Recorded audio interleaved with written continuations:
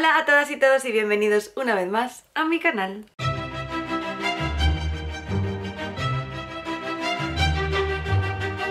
En el vídeo de hoy me he puesto un poco elegante. Yo no tengo muchos ropajes elegantes, pero la ocasión lo merecía. Fue mi cumpleaños el 2 de diciembre y este va a ser el primer haul de cumpleaños que haga en el canal. Os voy a enseñar un poquito pues que me han regalado mis amigos, mi pareja y mi familia. El primer regalo que quería enseñaros, que en verdad no os puedo mostrar porque lo estoy usando, es la cámara con la que me estoy grabando. Porque la cámara que tenía era la antigua de mi hermano que es muy vieja y de muy mala calidad y que además se apagaba cada 10 minutos y era una odisea grabarme con ella. En un montón de vídeos antiguos míos ni siquiera estoy enfocada porque no había enfoque automático, muchas veces como no tenía pantalla para verme eh, tenía que imaginar un poco dónde estaba, poner el foco, era un poco desastre. En esta nueva cámara que os pondré la foto por aquí o por aquí, es una Sony Alpha 5100 y tiene la camarita para que te puedas ver, que ahí me veo yo ahí arriba. Hola Lidia. Que es perfecto porque hay, hay sitios de mi casa donde a lo mejor me grabo y justo detrás está la pared, o sea que ni siquiera yo puedo colocarme detrás ni para enfocar ni para ver. Estoy súper contenta, además por casualidades de la vida, es la misma cámara que tiene Paola de Bichando Libros y eso me ha venido de lujo porque me ha enseñado muchas cositas porque yo, como ya sabéis los que me seguís de hace tiempo y los que no os lo digo, soy una negada para las nuevas tecnologías, se me dan muy mal y aunque he aprendido muchísimo en todo este año de YouTube, avanzo a pasos de duendecilla, me cuesta mucho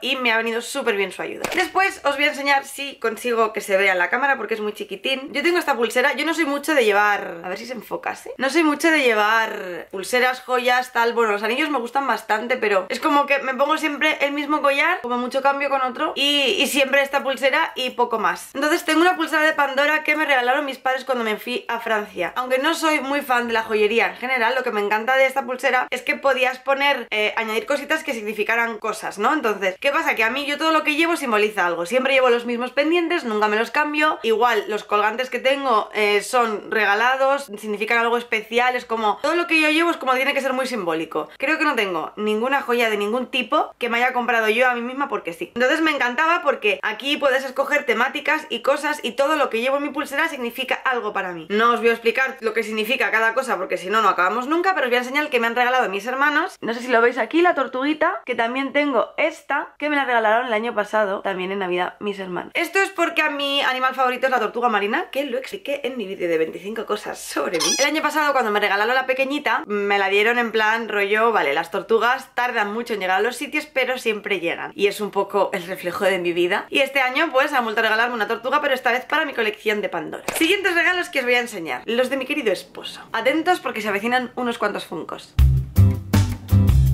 Piquet. Es de Animales Fantásticos y dónde encontrarlos, que todos los fans de Harry Potter seguramente conoceréis. Me encanta porque de vez en cuando me da por poner acentos, no lo entiendo. También me ha regalado estos tres funcos de Stranger Things que tenemos a Dustin, a Joyce y a Will. Voy a intentar a ver si me acuerdo, hacer una foto y poneros por aquí cómo los tengo ahora en la estantería. Yo ya tenía a Eleven y a, Mike, que me regalaron el año pasado mis padres también para mi cumpleaños. Tengo un Monopoly de Stranger Things que me regalaron también y un, eh, un libro que me regaló también mi chico el año pasado de Stranger Things. Entonces soy muy friki obsesa de esta serie y tengo como un rinconcito donde lo tengo todo junto. Así que poco a poco voy ampliando la colección hasta tener todos los personajes porque yo soy así de friki. De hecho, mi casa es un museo friki friki tal cual. Y como yo soy muy friki y mi chico también es muy friki, es que no hay término medio. En esta casa nadie nos dice, stop, dejad de comprar fricadas. Mi chico también me regaló esta muñeca. Elsa de Frozen. Su argumento, pues porque como soy yo Elsa, me la tendrá que regalar, ¿no? Todo esto viene por el vídeo de eh, Llegó la Navidad. Si no lo habéis visto, ya lo estáis buscando. Y bueno, en verdad hace como 2000 millones de años que no tengo Barbie, pero me ha hecho ilusión eh, tener esta porque además tengo un Olaf así de plastiquete que es como del tamaño así, que le va perfecto. Y ya lo último que me regaló mi chico fueron estas tres pelis que una la hemos abierto ya porque ya la hemos visto y estas dos nos falta por verlas. Vengadores Infinity War, Animales Fantásticos y dónde encontrarlos y El libro de la selva.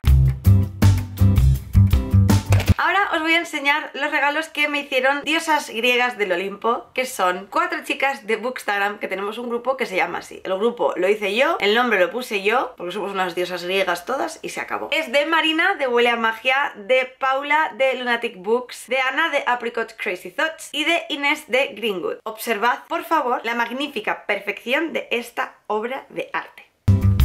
Sí, amigos, Jane Austen. Es el principio por detrás, las letritas que se ven aquí. Estoy mirando la pantalla porque no sé ni lo que señalo. Las letritas que se ven aquí son principio de la obra, como empieza la novela. Y obviamente, pues esto es un retrato de Jane Austen. Y estas florecillas venían en el paquete y me daba tanta pena tirarlas porque estaba envuelto perfecto. O sea, es que venía como en una cajita, luego envuelto con un papel precioso. O sea, me sentía como súper de la época abriendo un paquete súper perfecto, precioso, como si me lo hubieran enviado desde el siglo XVIII hasta mi casa. Aquí también tiene este celofán que pusieron así como precioso, que me encanta. Hola, quiero este celofán en mi vida. No he querido quitar este plástico envuelto porque en verdad lo tengo aquí en la estantería colocado, que lo voy a dejar ya puesto. Ahí está. Pues lo tengo ahí, expuesto, y para que no se ensucie ni se llene de polvo ni nada parecido, lo tengo envuelto en el plástico original. Y luego también me regalaron un pack de velas muy especial que para los frikis que améis las velas literarias como yo y sigáis a Book and Glow, que es una de las tiendas más famosas de Instagram, debisteis flipar con estas velas, aunque no os gusten los clásicos, aunque no seáis fans de estas tres mujeres, es que seguro que las etiquetas os parecen absolutamente fantásticas. Primera velita.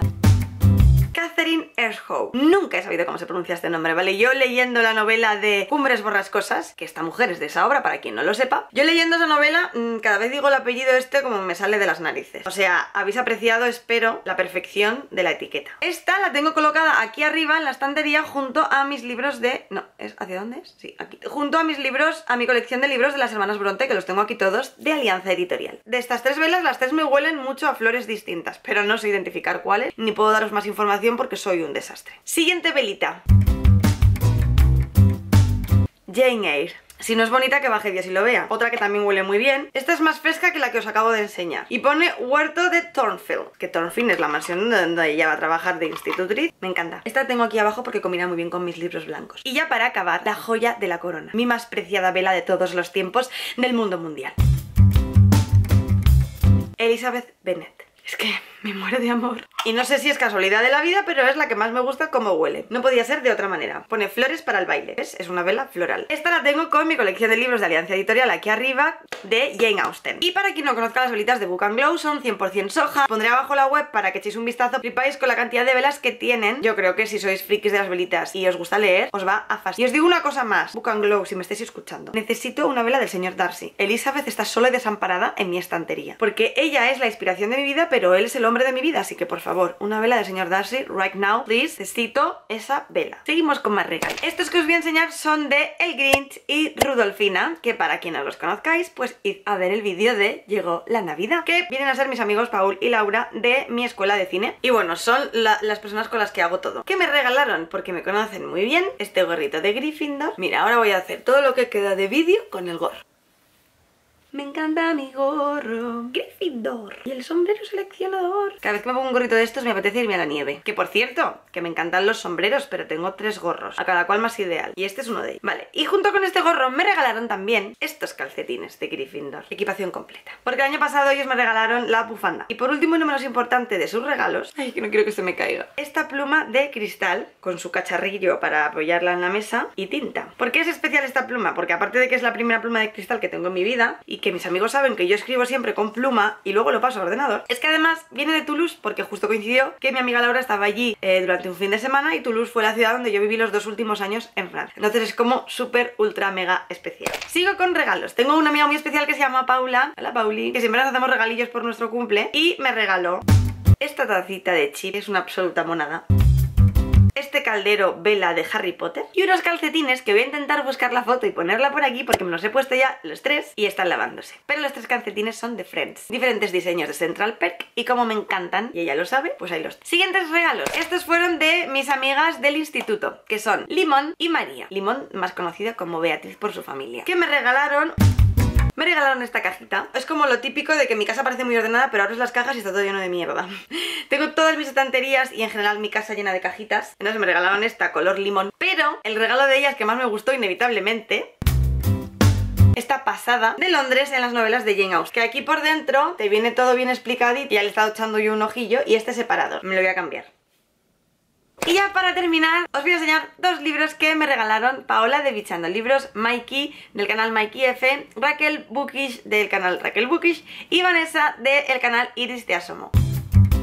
Me regalaron este que se llama Nadie dentro de ti, que todo el mundo ha hablado un mogollón de él, de la editorial Alfaguara. Yo es verdad que nunca había leído a Roy Galán y tenía un montón de ganas, así que me hizo mucha ilusión, pero tengo que decir que el libro que más ilusión me hizo por causas naturales fue el que vais a ver a continuación.